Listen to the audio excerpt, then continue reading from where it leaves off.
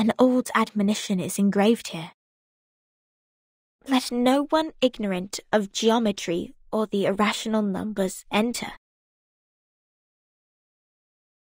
37 told me you are the integers. She's the genius kissed by the god of truth. She can see our numbers and has never made a mistake. But I don't understand. Why would you break the silence at the meeting?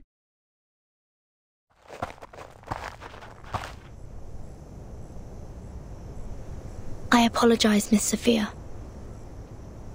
I won't defend our behavior. You may save that apology for later. If you can persuade more than half of the people to vote for your friend's commutation, perhaps she won't be sentenced to death. I have gathered some case files from the past. I hope it will be of some help.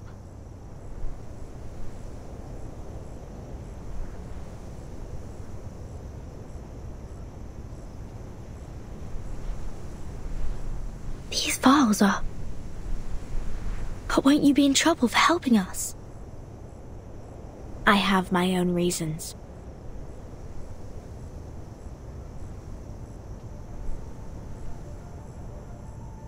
Integers are the living example of virtues, the standard of purification.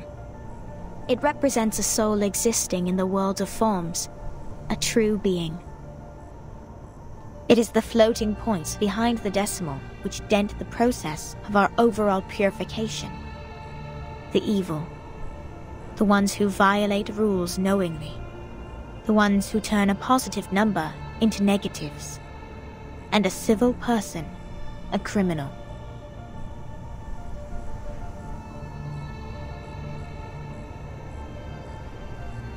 If integers like you would lose your life over some unintentional mistakes, wouldn't it be a great shame? Besides, I can't stand the idea of you being killed in front of me. Not rigorous.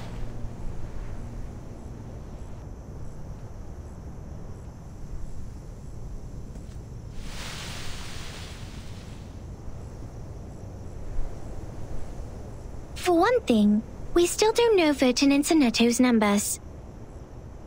For another, the fact that every crow we've seen is black doesn't necessarily entail that the next crow will also be black. Even if every virtuous person we met has been an integer, we can't be certain that the next one will still be an integer. Same case for irrational numbers. You're right, 37.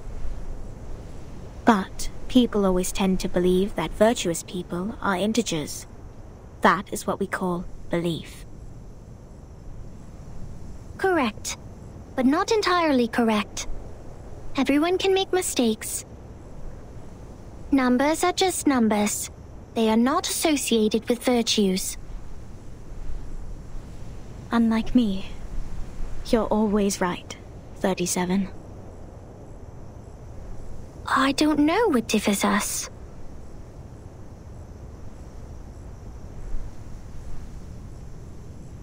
Will you be at the assembly? Yes.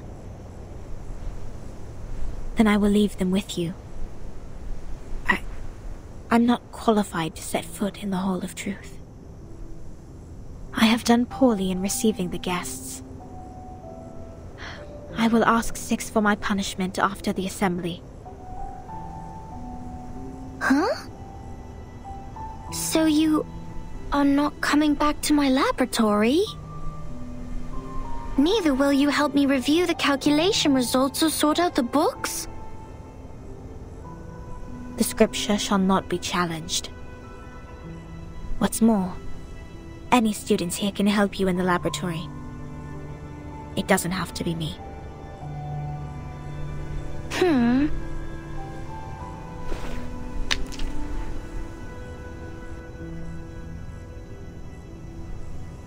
Had I known, I would have let someone else welcome Vertin and her friends. Like 210.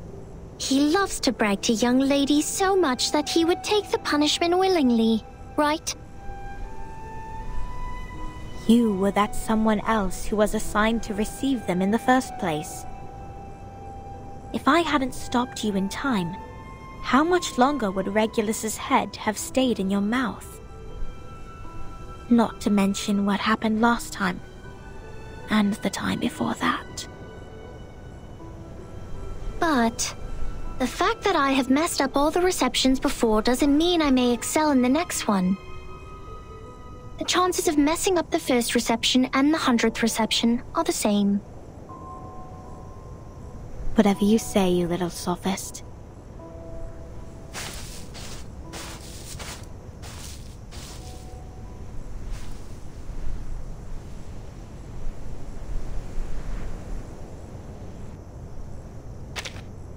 Everyone says so. But compliments won't help her find her number.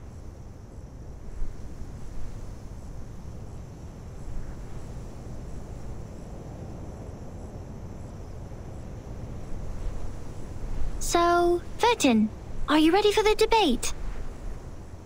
Does that mean you will help us? Of course. I don't want to miss the chance. What chance? The chance to see your numbers. There's no greater knowledge than the knowledge of oneself. And there's no more exciting truth than the truth of oneself. I can quickly tell which types of numbers you are, but it requires proof to know the exact number of your soul. I want to know the answer before you see your own numbers. So it's 37 who proves it, not Vertin. I'd be glad to give this chance to you.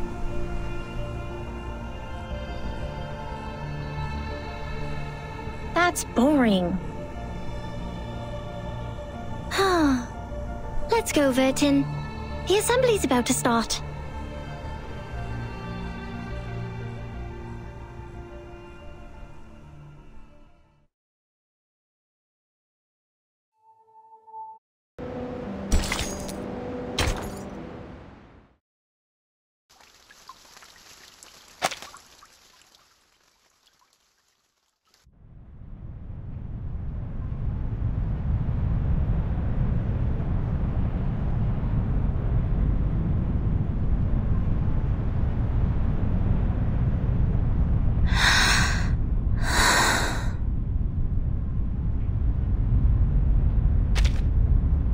Worry, Timekeeper.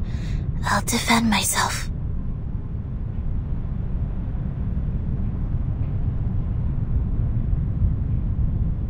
Back in the Foundation, I once won a public debate of a similar nature.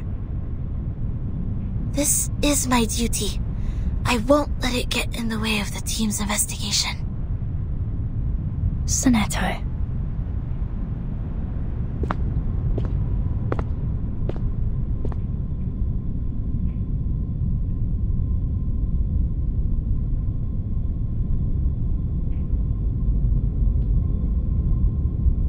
By our tradition, Miss Sonetto will be given the poisoned wine, so she will be muted and stay that way forever.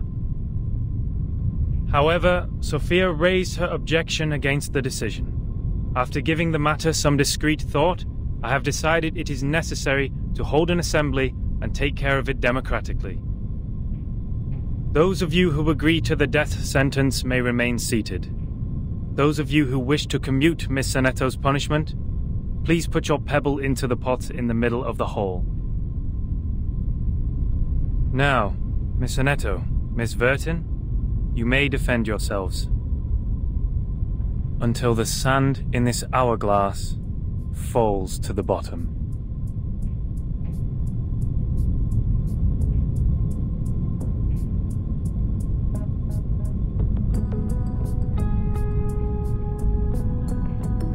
I am Sonetto from St. Pavlov Foundation.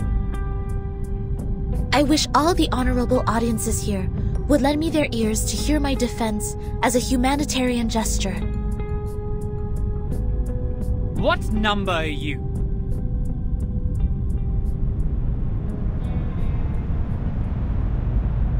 Defendant, the court requires an answer. What is your number? What Me? No, I don't have a number. Don't waste our time. People without a number cannot stand in the Hall of Truth. All her words are void. Sentence her to death now!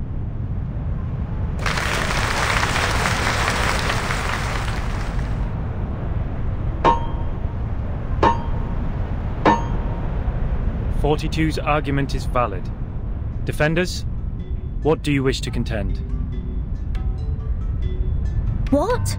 It's valid? I.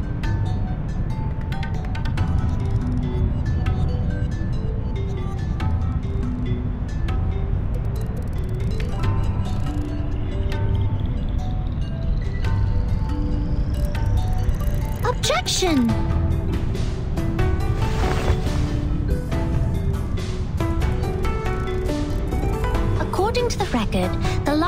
Inflicted severe punishment was in 1980 to a visitor who ate beans.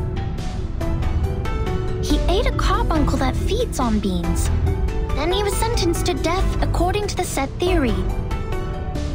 In our scripture, eating beans is the most evil sin, which undoubtedly fits the most severe punishment.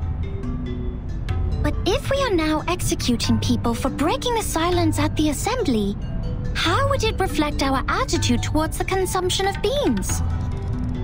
Has the latter become less sinful? I suggest Sonetto's punishment to be commuted.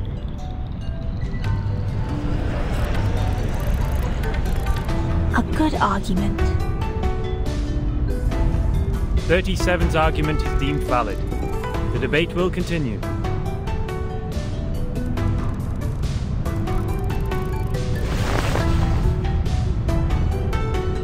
Objection. The punishment for eating beans is to throw the offenders into the Gorgon current, while the punishment for the silence breaker is to drink poisoned wine. Among all the punishments we have, there's no other punishment more dreadful than being thrown into the Gorgon current. Because eternity and infinity are the two things we have the least knowledge of, which makes them the most ghastly punishments among all. Giving her the poisoned wine doesn't make the consumption of beans less sinful. Her argument is invalid.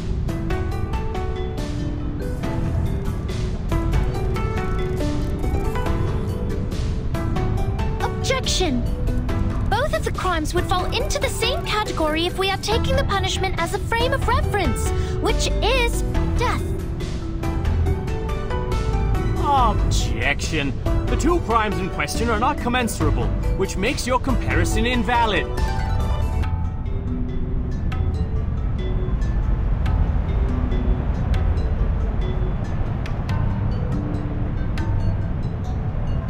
What's this? I'm completely lost in this irrational debate. I. I see. So that's how it works. Timekeeper? Relax. I will help you.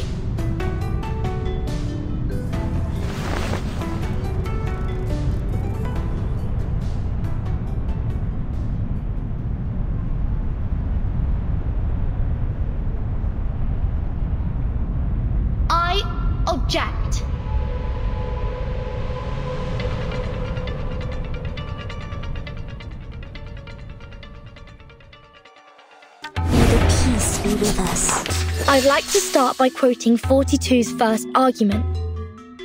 People without a number cannot stand in the Hall of Truth. In that case, it's not possible for Sonetto to commit a crime in the Hall of Truth. Because she can't even be in the hall. What? Good point, Vertin. This is our chance to out-argue them. Sempre caro mi su quest'ermo gole. These are merely clumsy sophisms. We've all seen her break the maxim. Objection! What you see cannot be submitted to the court as a transcendental fact. It's nothing but the fragments of the phenomenal world which can't be used in your argument. Objection sustained. Please, ladies and gentlemen, keep the debate logically consistent. Since Sonetto has no number, and a person without a number does not exist before the truth, Sonetto thus didn't offend your truth. She didn't break any rules. Sempre caro mi fu quest'ermo cole. Objection! The rule breaker has a number. We can all tell that she is very likely an integer. Therefore, she should be identified as an unknown number, not void. Your sophism has failed. 42's argument is held valid. Is there anything else you'd like to add, defendant? Uh, tell you a secret, Vertin? We would call criminals negative numbers. I got it! Sempre mi fu quest'ermo cole. It is easy to prove Sonetto's innocence. According to the law of the excluded middle, Sonetto either committed a sin or committed no sin. The two statements cannot be both false at the same time. Since we consider a criminal as a negative number and a non criminal as a positive number, Sonetto at present is considered an unknown number. That means she doesn't belong to the criminal set or the non criminal set. She did not commit a sin and did not commit no sin. It's a paradox. I hereby demand to modify the criminal sentence that has been given to Sonetto.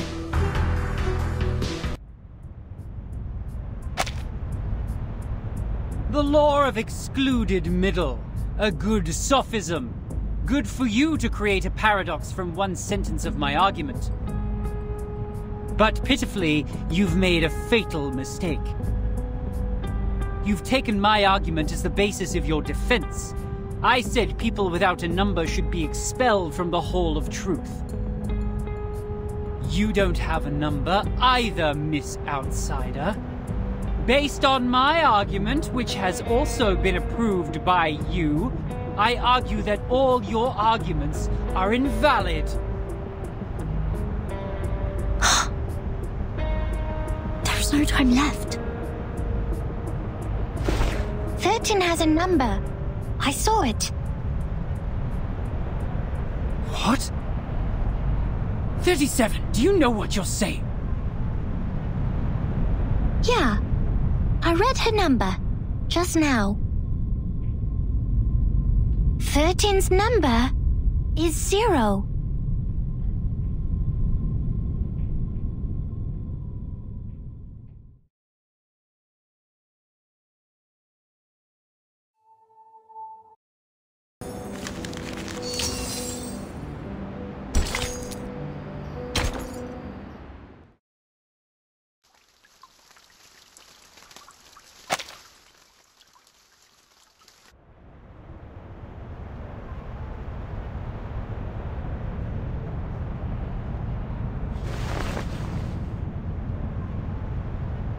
Thirty-seven. You just said Vertin's number is zero.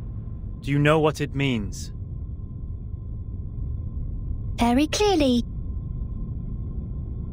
Would you be able to submit proof to a payron?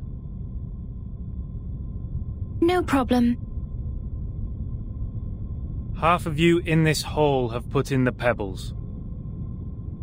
If 37's argument is found to be true, every argument Vertin has spoken in Sonetto's defense will be deemed valid. Sonetto will be exempt from the punishment. I will announce the result once 37's proof has been validated by a payron. Thank you for your time.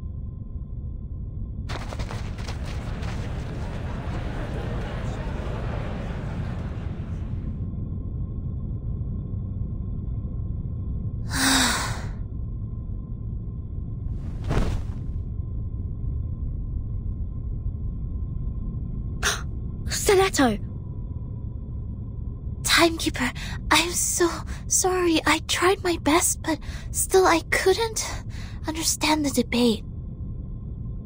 I failed again.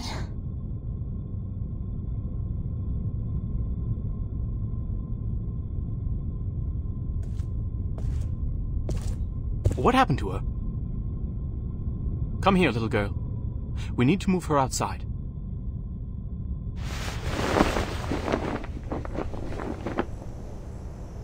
Lie her down on the ground and wipe her palm and feet with dew and peppermint oil.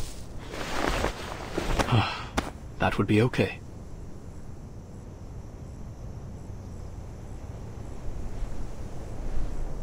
Thank you.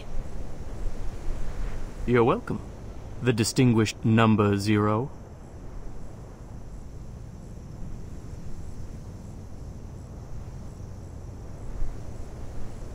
I'm kidding. I'm 210. Well, instead of the number, I prefer people call me the rhetorician. I've heard your preachment. Pretty demagogic. That's how logic works. With logic, I can prove that you'd cease to exist in the next moment, or that there are no other people in this world except me. Achilles can never outrun a tortoise, and a flying arrow is forever motionless. This debate is nothing but meaningless wordplay. That pacifist let you off this time. Six. a perfect number indeed for he knows the benefit of reconciliation. Who wants to have blood on their hands and be devoured by the cycle of hatred? Yet it's a torture for any intelligent mind to hear such an immature debate. Can you feel the suffering of our leader now? I'm sorry. No apology needed, Miss Outsider. I also feel sorry for your pain given that 37 has revealed your number. What do you mean? 37. Our evil little genius. The most cunning star of Hermes. She's been having fun revealing others' numbers for a long time. Our numbers are our essence. And it's also the most important proof we get once in our lifetime. But she enjoys taking that opportunity away from you just because her talent allows her to do so. She did that to her friend, too. She found out Sophia's number. But without casting an eye on that paper with her number on it, Sophia threw it into the sea. Sophia is Sophos. But you... I pity you. It doesn't seem like trouble to me. Alas, poor little Vertin. You still don't understand.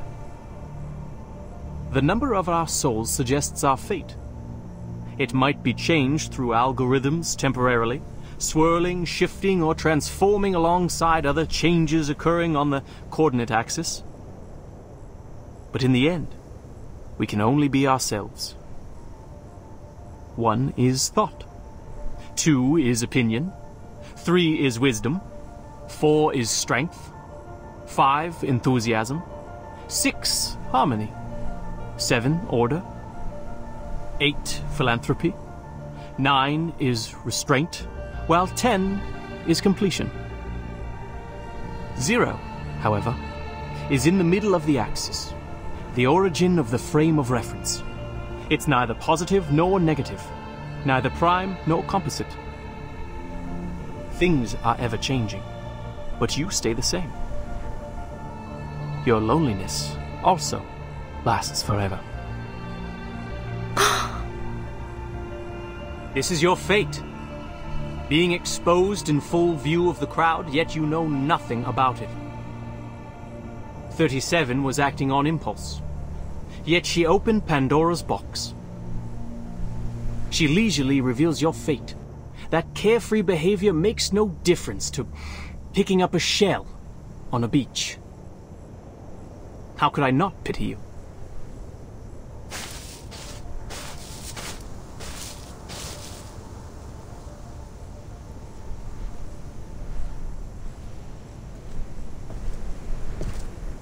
Miss Vertin.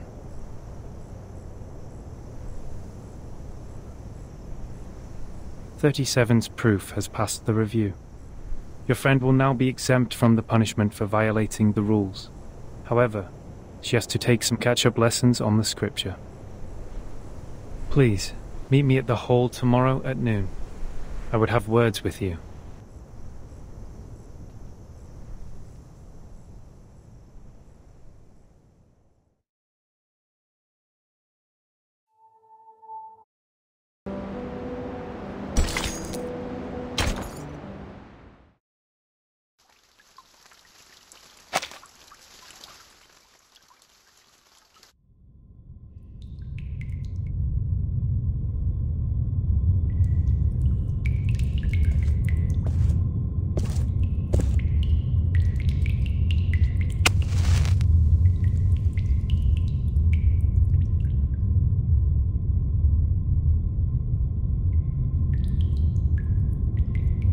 Before this negotiation begins, I wish to tell an allegory to the two of you.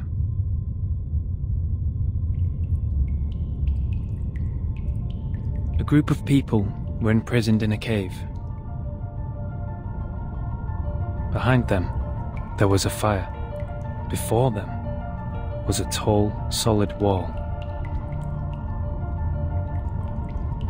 Their legs and necks were chained and fixed so they were constrained to look nowhere but to gaze at the wall in front of them. When they dropped their eyes, they saw their own body. When they looked up, the flickering light of the fire fell over them, and they only saw the shadows of what was passing behind them. No one had lived one day outside the cave. The shadows cast on the wall all there was to be perceived as reality. They had no knowledge of the real world. One day, one of them escaped from the cave, walked into the light, and saw the true world with his own eyes for the first time. Everything he saw or felt in the cave was nothing more than a mere shadow of the object's true form.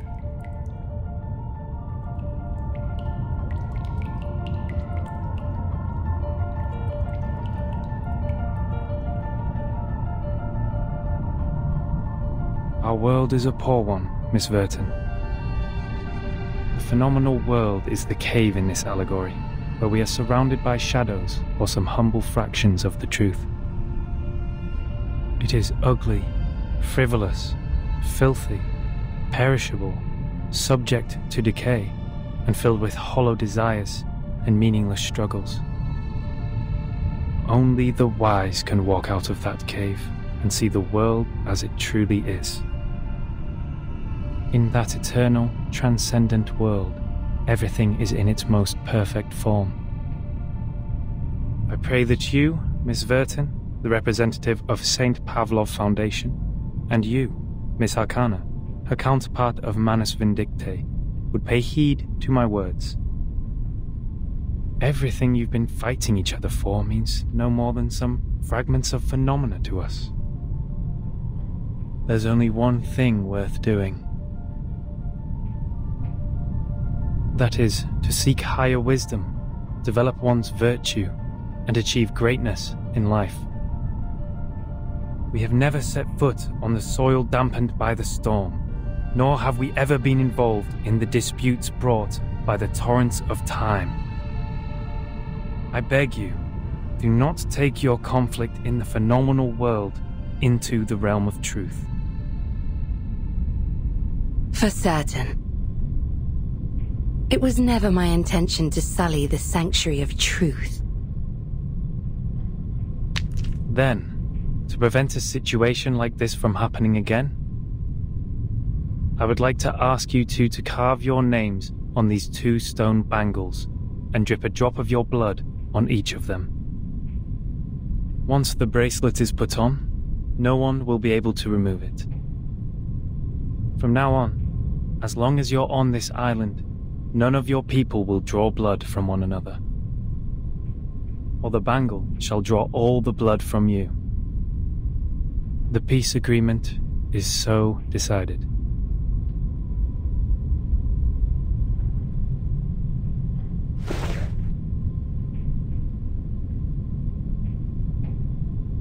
I appreciate that. I'll sign it.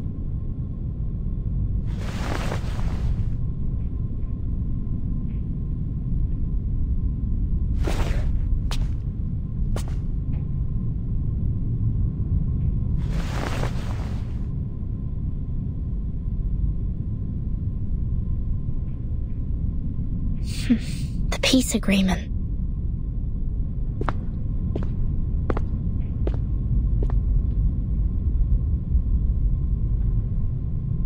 Lady Vertin, we meet again. I wish the best to thy friend. She's doing well, thanks to you. You're most welcome. Thou shalt quench, for times hath changed. I would not wish to shed even a drop of Arcanist's blood in vain. But Schneider should be the victim of a merciless bullet?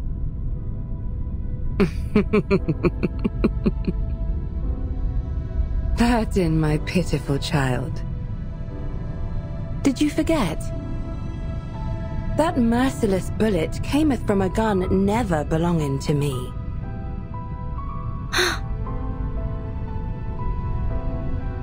What's Manus Vindictae's purpose to be here?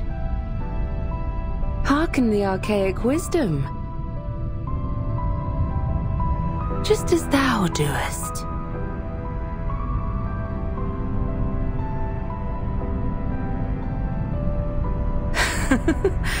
I am not surprised.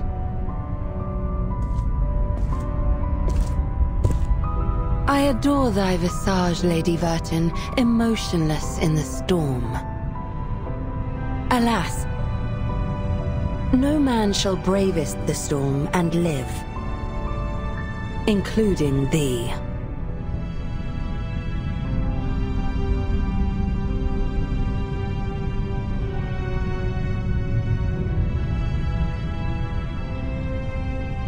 Wooden box in the Elitiaus base has my name on it. Was that your doing? Sadly, it wasn't. I hope thee findeth the answer satisfactory.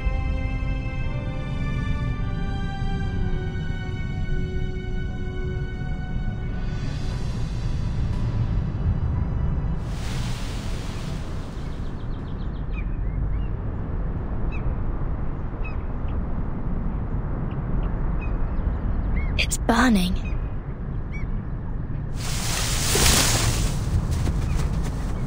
Is that Miss Arcana?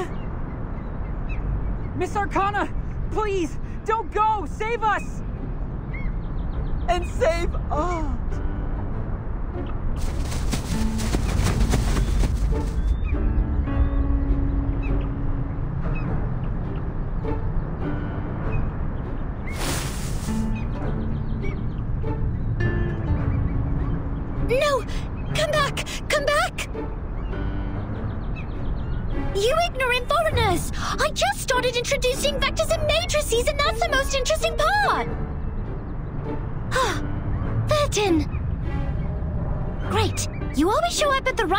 Right place!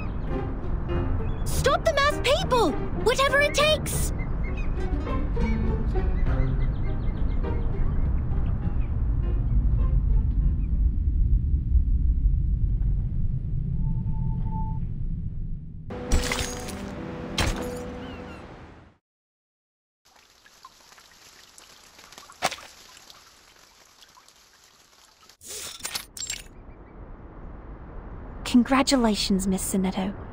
You are the fastest learner of our doctrine among all the visitors in the past half century. On behalf of all orators, I award you this laurel wreath.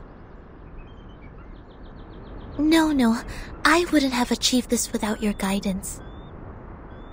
Those mathematic statements are really inspiring. I've learned a lot. But there's still something confusing me, such as Pythagoras and his golden thigh, his memory of the previous lifetimes as the son of Hermes, and the transmigration for every 216 years. Could you please tell me more about these?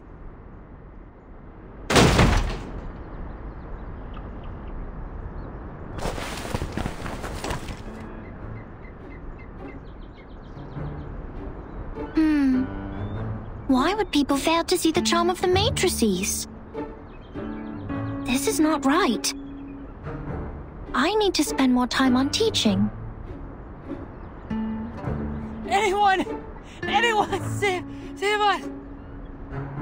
Thus my journey of art is doomed to fail. I really don't want to study maths anymore. Help.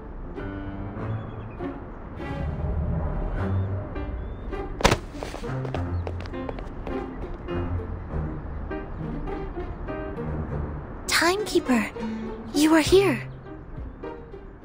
I heard that you completed all the lessons on the scripture. This laurel wreath suits you well.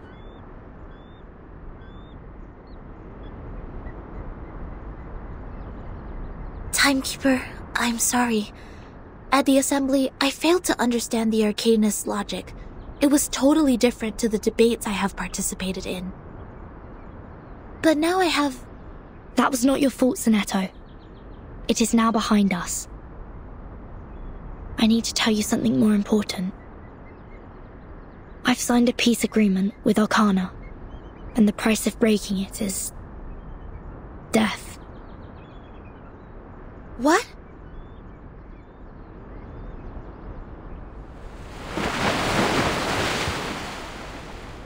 So Manus Vindictae is also restrained by the stone bangle like we are.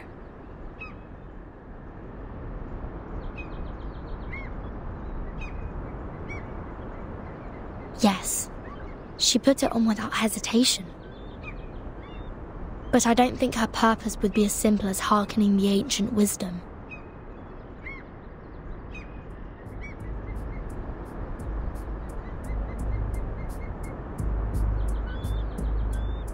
I attacked Manus' followers earlier as 37 asked me to. But I received no punishment from the Bangle. Perhaps this island makes its own judgment on what to be classified as hostility. Like it has a mind of its own. Sonetto, do not report this to the headquarters before we figure out how the Bangle works.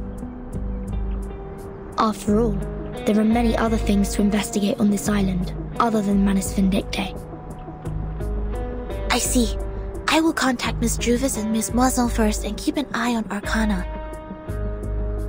Timekeeper, this island, the Manus's mask, and your suitcase are all immune to the storm. Does this mean we could collect more asymmetrical nuclide R samples? I tried to collect some samples last night in the outer region of the island. But the detecting device showed nothing. If we were to find out more, we have to go to the center area. What are you conspiring now? Do not poke the fire with swords, and do not jump over a crossbar. The assembly will not be held every time when there's a crime. Please take heed of my warning, and do not overstep the line. Learn a lesson from them.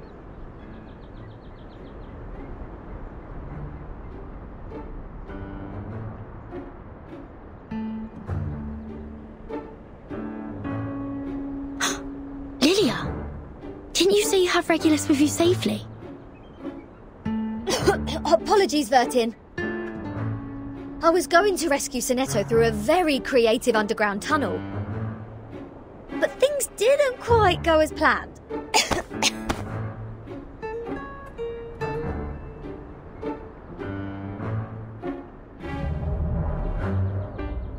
Not a bad innovation for a simple clap on the forehead. If only you didn't miscalculate the location of the explosion. This apple is grateful that it didn't get blasted into a puddle of apple jam. Warning. Shell cleaning required. Warning. I don't know why, but when I was in that cave, ideas kept flooding into my head. Though, judging by the outcome, they weren't all good ideas.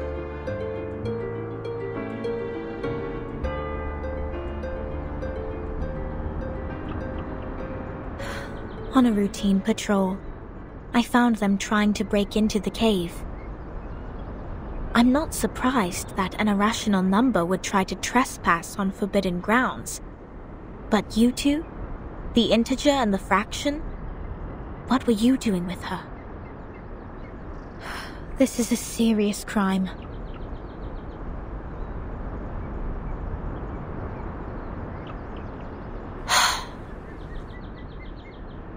We have to go through this debate again? It's. It's okay, Timekeeper. I will defend Regulus. I've thoroughly studied the scripture, and this time I'm sure I can do better. Forget it.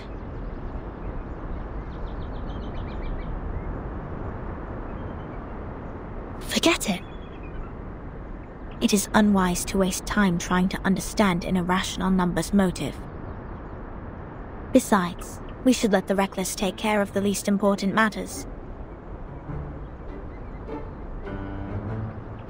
That's it. Regulus, you will come with me to clean the beach. Huh? Me? Again? Since you have too many floating points, words of discipline would not work on you. We would have suggested you study with the rest of the students here. Abstain from eating meat, bathe in cold water, rise with the Apollo star, study our doctrine, read the scripture aloud on the beach, so as to remove your floating points and purify your soul. What? I won't do any of that. But taking your peculiar character into consideration, I decided that some compulsory labor would be the better option.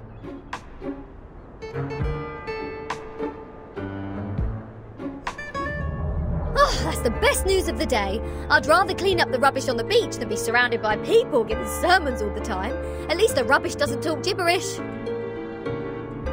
I'd be dead if you didn't change your mind. Regulus, studying the scripture is not that scary. They will teach you and guide you until you take full command. Just like taking lessons at school. Huh? Is that what schools are like? Haven't you been to a school, Regulus? Haha! a great pirate would not remember trivial matters as such. So, where were we? Which part of the beach needs to be taken care of by the great captain? My laboratory. Whoa! Where did you pop up from?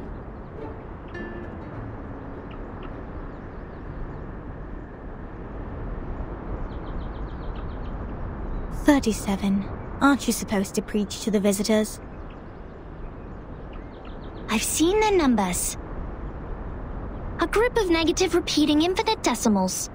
They will achieve nothing but to repeatedly step in the river of mistakes. I gave up on them. Fine. Those of you who are complicit in breaking into the cave will also be sent to labor. Sonetto and Lilya will come with me to patrol. Regulus, you can go clean the lab. As for Vertin, you will assist 37 with her study of the emanation. Don't waste more time on the trivial matters of the phenomenal world. Integers. That was the sole reason you were on this island, was it not?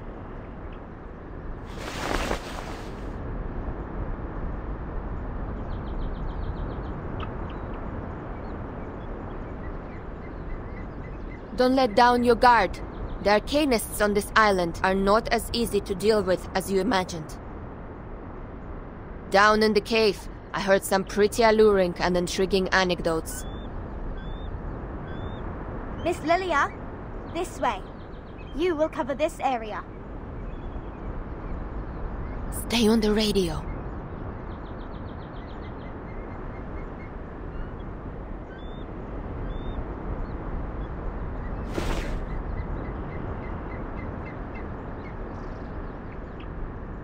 Don't worry, Timekeeper. Lilya and I will keep an eye on Manus Vindictae. We are counting on you, Sonetto. I have a feeling we are coming closer to a big secret.